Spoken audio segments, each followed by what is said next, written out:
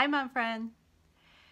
So this triad is all about feelings, the heart triad. This consists of the twos, the threes, and the fours.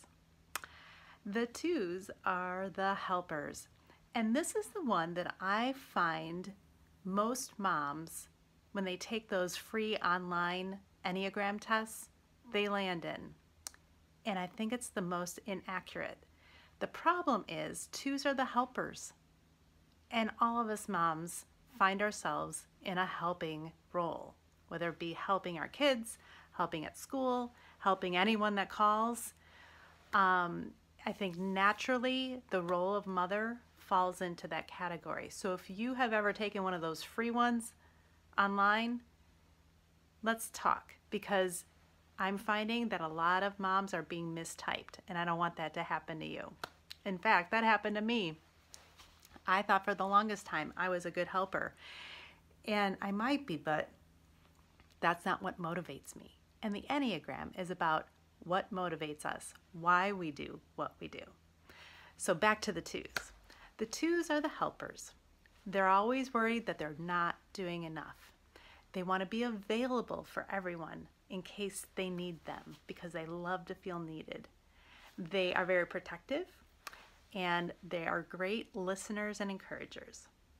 But sometimes they smother their children with helping them too much. They do the science projects for them, they do the paper for them, and they are very people pleasing, so they have a hard time saying no. The threes are the achievers, or you can call them the performers. This is where I find myself. This is what motivates me. I'm goal oriented, I have lots of energy, and little competitive too.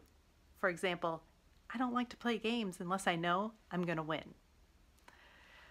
I need to balance my ambition so I don't pressure my kids to achieve like I think they should, to make the team, to make the grade. Not all of our kids are motivated the way we are, but that's the way I'm motivated. I'm a three.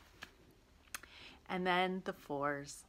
The fours are so creative and sensitive. They're the moms that have the glue stick in their purse.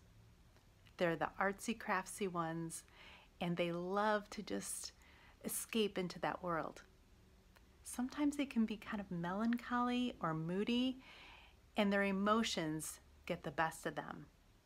So sometimes when they're in their mothering role, they feel what their kids feel angry, sad, happy, and they just need to keep an eye on that.